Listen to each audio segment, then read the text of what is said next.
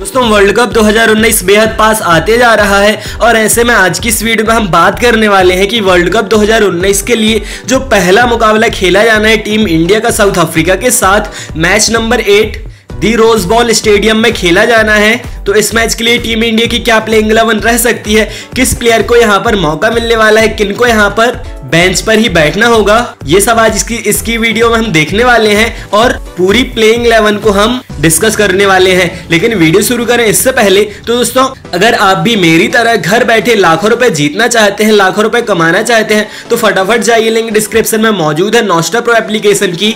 जहाँ पर आपको डाउनलोड करते ही हंड्रेड रुपीज़ का कैश बोनस मिलेगा और जिसके चलते आप फ्री लीग्स में लाखों रुपए तक जीत सकते हो। तो फटाफट जाइए लिंक डिस्क्रिप्शन में मौजूद है। नोस्टा प्रो को डाउनलोड कर लीजिए। तो वही दोस्तों, आगे बात करते हैं कि दोनों ही टीम्स की। तो वही दोस्तों, आगे बात करते हैं कि टीम इंडिया की क्या प्लेइंग इलेवन रहने वाली है, क्या प्लेइंग इलेवन रह सकती है। तो ओपनर्स के तौर पर रोहित शर्मा, शिखर धवन खेलने वाले हैं। इनके बाद अगर मिडिल ऑर्डर में देखा जाए तो नंबर तीन पर विराट कोहली नंबर चार जो सबसे कंट्रोवर्सी वाला नंबर रहा है, जहाँ पर विजय शंकर को टीम में सिलेक्ट किया गया है। तो ऐसे में नंबर चार पर विजय शंकर खेलने वाले हैं। नंबर पाँच पर केदार जाधव नंबर छह पर एम एस धोनी नंबर सात पर देखा जाए तो हार्दिक पांड्या।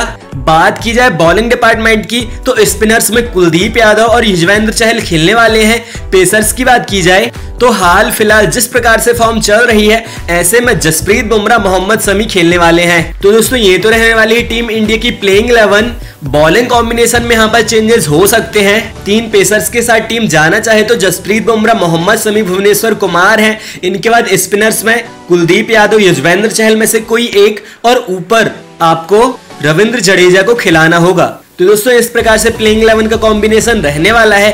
पहले मैच के लिए आपकी क्या प्लेइंग इलेवन रहने वाली है? आपके हिसाब से किस प्लेयर को टीम में शामिल होना चाहिए, किसको बेंच पर बैठना चाहिए कमेंट बॉक्स में हमें ज़रूर बताएँ। और वर्ल्ड कप 2019 से रिलेटेड सभी लेटेस्ट अपडेट्स आपको लगातार मिल रही हैं। तो अगर आपने अभी तक आरस एंटरटेनमेंट को सब्सक्राइब नहीं किया है तो फटाफट सब्सक्राइब कर लीजिए बेल आइकन को ज़रूर से प्रेस कर लीजिए, जिससे आपको सभी लेटेस्ट अपडेट्स लेटेस्ट न्यूज़ आपको लगातार मिल सके। धन्यवाद।